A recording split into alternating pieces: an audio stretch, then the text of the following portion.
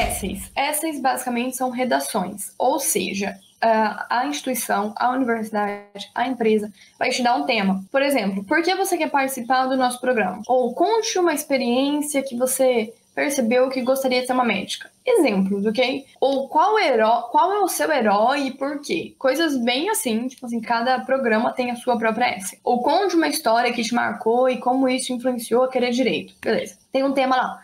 Primeira coisa, se atente ao tema, não fuja do tema. Tá falando sobre abacaxi, não fala sobre banana. Foca no tema. Tá falando por que você quer participar daquela universidade, não vai se esvair e falar não sei o quê. Não, eu quero participar porque tal, tal, tal. Responda a pergunta. Muita gente foge da pergunta. Primeira coisa, regra. Não tem regra. Essa é a regra. É, não tem um formato. Ah, Maria, quantos parágrafos? Ah, Maria, eu faço isso. Não tem regra. Vocês fazem do jeito que vocês quiserem. Sendo criativos. É a mesma coisa a questão da carta de motivação. Sejam criativos. Conta uma história e faz isso e coloca isso. E por que isso. E não sejam clichês. O que é ser uma pessoa clichê? Por exemplo, Stanford te pergunta: por que você quer participar do nosso programa? Ah, porque é a melhor universidade do mundo, ou porque é a segunda melhor universidade do mundo, na teoria. Então, assim, não falam isso, isso é um fato, isso é óbvio. Isso é um motivo que você quer, mas por quê? Ah, porque Stanford possui o maior centro de neurologia e tal. Isso é legal. Você conhece a universidade, você tá falando algo interessante, entendeu? Não sejam clichês. Primeira coisa. Segunda coisa, cative o leitor. O que é cativar o leitor? É você contar, é você narrar e naquele momento eu me arrepiei, o meu coração acelerou, porque eu percebi.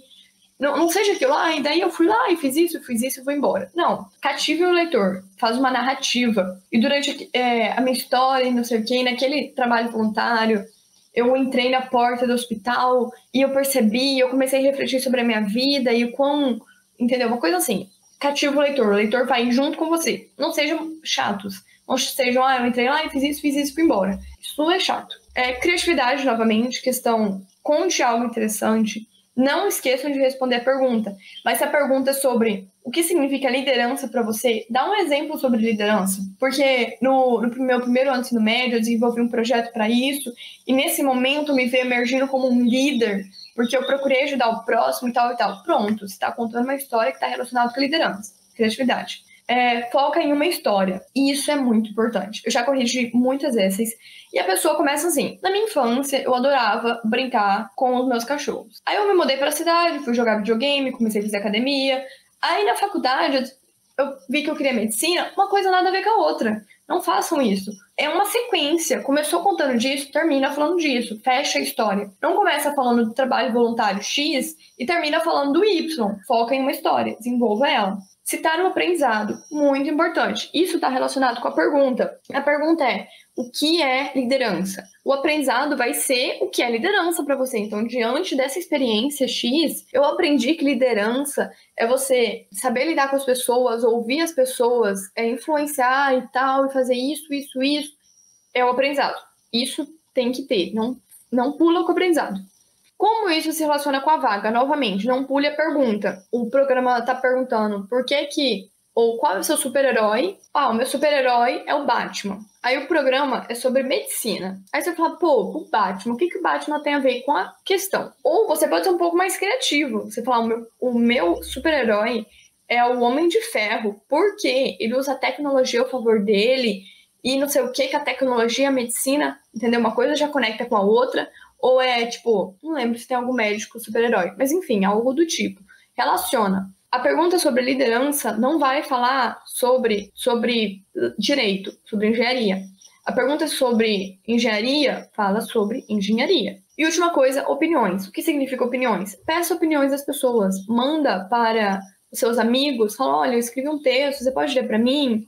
É, pede para sua mãe ler, para seu irmão ler, para sua irmã ler. Na plataforma a gente tem a questão de correção de essays. Eu não trabalho nessa, nessa área, mas tem pessoas excelentes trabalhando.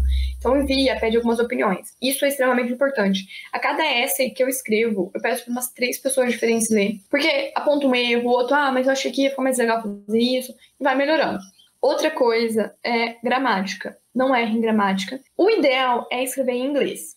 Caso você não, Maria, não tenha um inglês tão bom, escreve em português. Mas não vai lá e coloca no Google Tradutor. Primeira coisa, interessante seria, assim, tenta traduzir por si mesmo. Ou pega pelo menos um tradutor confiável. Tradutor confiável. É, Cambridge, Reverso, são um pouco melhores que Google Tradutor. Mas não manda desse jeito, porque tradutor tem erro. Então pede para uma professora de inglês corrigir, para uma pessoa fluente em inglês corrigir. Não mande com erros, pelo amor de Deus. Você está se candidatando para um programa top mundial e você está escrevendo errado. Não façam isso. Novamente, a questão do tamanho. Normalmente, as universidades dão um limite. Então, mínimo 200 palavras, máximo 500. 500 não é 501, não é 502. 300 não é 299. Respeitem o limite. Outra coisa, o mínimo é 200, o máximo é 500. Não escreve 210, escreve 490, o mais próximo do máximo possível. Demonstre que você está entusiasmado para falar sobre aquilo, ok?